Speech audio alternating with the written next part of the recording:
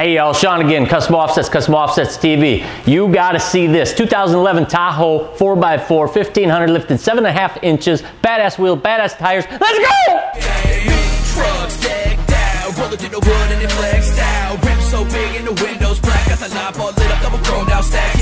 And and to still they so clean. Custom offsets, team on top of it now. We ain't never gonna fade, so you better get ready, we're taking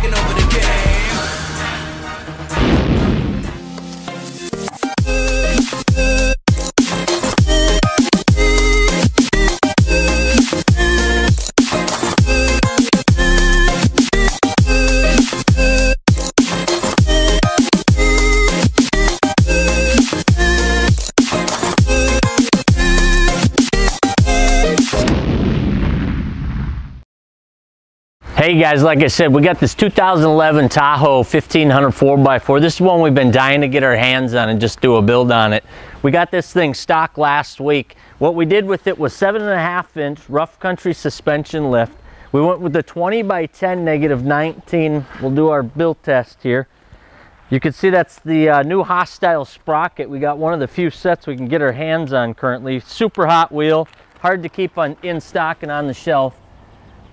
I would say it's probably got about a three and a half inch lip on it. And then we went with the Toyo Open Country AT2 Extremes. So this one, they really wanted to stick with an all-purpose tire that they can really get the miles out of. We're seeing 65, 70,000 miles out of this tire when it's uh, rotated properly and taken care of. So all in all, that 35, 12 and a half on that 20 by 10 negative 19 looks extremely badass on the seven and a half inch. But even with that seven and a half inch lift, you'll see we did have to get in there and remove some of this subframe up underneath the bumper. Um, we also had to do some trimming and do some pulling. So we're using tie strap to pull that liner away and then also trim the bottom of that bumper. A little bit of that back here too. We had to get in and not really modify the uh, step board, but the um, bracket that comes down for the step board had to be trimmed. Otherwise this thing was hitting, even with that seven and a half inch lift, these 35s were hitting really hard, almost pulling that front bumper off and then also smacking into the, the uh, step up back here really hard. But overall, I mean, if you back up, take a look at this thing. We put a 50 inch straight light bar on there with the OLB brackets for this style truck with the new low profile style. We also did the window tint so everything's all matched up and it just turned out super badass. Come on, take a look at this.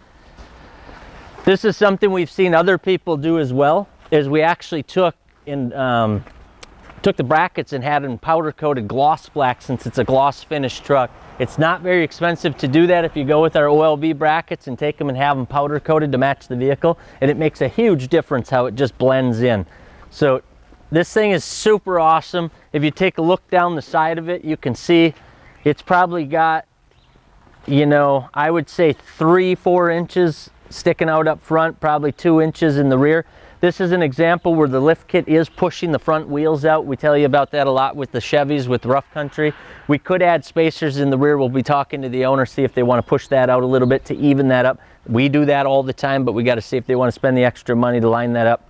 Some folks are cool with it as is, but super badass truck. Love the way it turned out. Love the hostile sprockets. Wish we could get our hands on them. Uh, we're hoping in the next few months that they'll start to loosen up and start to be on the market and readily available. But can't say enough about it. Thing turned out super awesome. Can't wait to drive this thing and uh, go see how many looks it gets. Remember, Custom Offsets TV on YouTube. Subscribe and you'll get notified when we keep coming out with them. See ya.